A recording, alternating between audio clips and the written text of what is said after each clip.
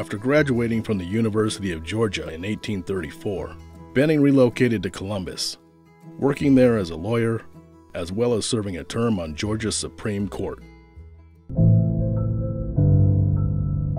Benning was the descendant of a wealthy plantation clan that enslaved over 100 people.